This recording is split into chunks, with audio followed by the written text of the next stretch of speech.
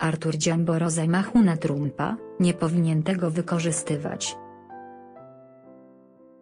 Prawicowy polityk był gościem studia Gońca na żywo, w którym głównym tematem był zamach na Donalda Trumpa.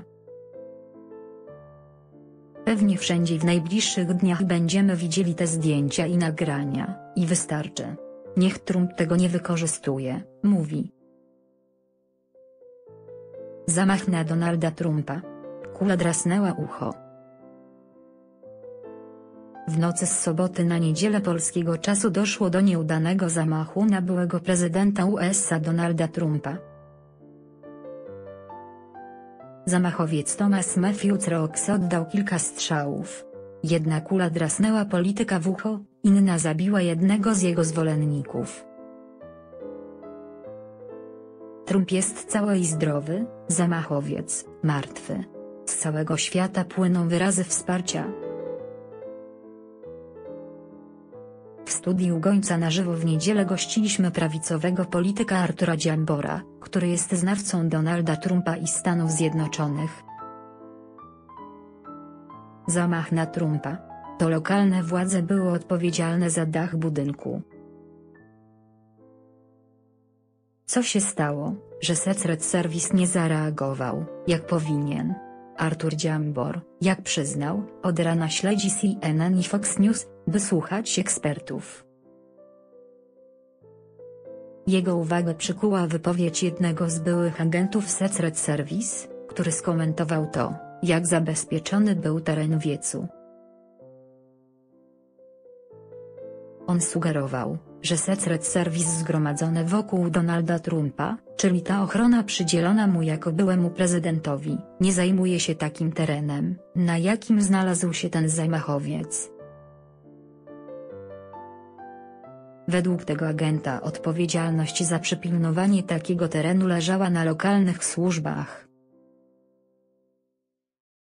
Tutaj pewnie będą jakieś tarcia co do tego, kto faktycznie odpowiada za to, że człowiek z bronią palną dostał się na dach budynku i mógł tam sobie spokojnie leżeć i czekać, mówi Dziambor. W sieci krążą zresztą nagrania sprzed samego oddania strzałów, na których widać zamachowca leżącego na dachu budynku.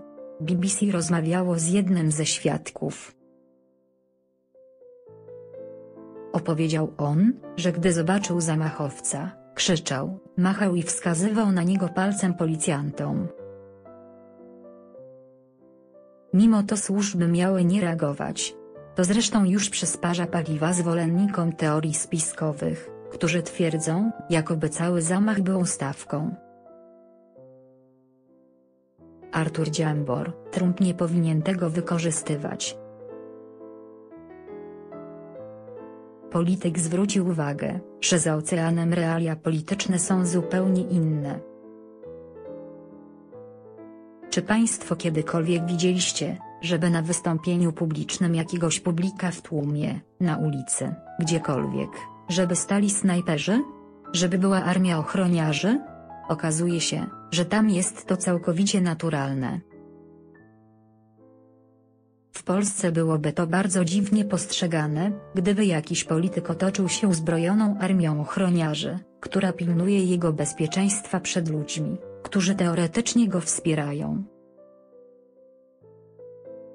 To trzeźwiejsza ocena w porównaniu do opinii choćby europosła suwerennej Polski Jacka Ozdoby, który był gościem w studiu Gońca przed Dziamborem, i nie mógł odpuścić sobie atakowania Koalicji Obywatelskiej za bezpardonowe ataki w stronę opozycji? A wracając do Trumpa, jak teraz powinien zachować się polityk? Według Artura Dziambora były prezydent USA nie powinien wykorzystywać próby zamachu na siebie w kampanii wyborczej. Nie ma potrzeby wykorzystywania tej sytuacji wyborczo, bo sytuacja jest taka, że Trump właściwie powinien czekać z popcornem i kolą na moment, w którym Joe Biden będzie oficjalnie kandydatem demokratów, powiedział Dziambor, który ma doktorat z kreowania wizerunku politycznego Donalda Trumpa w latach 2014 do 2019, Przypomniał też przygniatające poparcie dla prezydenta Ronalda Reagana, które ten uzyskał w 1981 roku po nieudanym zamachu na niego. Demokraci myślą teraz tak, kogo nie wystawimy, ten przegra. Mamy 4 lata na przegrupowanie się i wypromowanie kogoś nowego. Ale na miejscu Donalda Trumpa nie wykorzystywałbym tego. Ludzie już za niego to zrobili.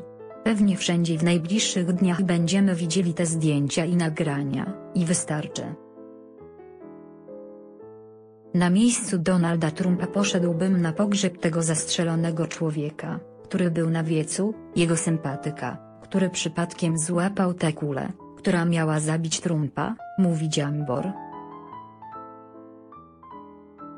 I dodaje, że kampania wśród sympatyków obu stron się zaostrzy. Jako przykład podaje nieustanne awantury polityczne na Twitterze, znanym też jako X. Tyle że w Polsce to są konta trolli. A w Stanach nie potrzeba trolli, tam ludzie sami się bardzo mocno angażują. I ludzie będą bardziej aktywnie walczyć o to, by tym razem Trump wygrał w tych Stanach, gdzie wcześniej przegrał, podsumował Artur Dziambor. Ale jednocześnie dodał, że to nie oznacza już zwycięstwa w wyborach prezydenckich. Jeszcze trochę czasu mamy, wybory są w listopadzie, jeszcze będzie jedna debata kandydatów we wrześniu.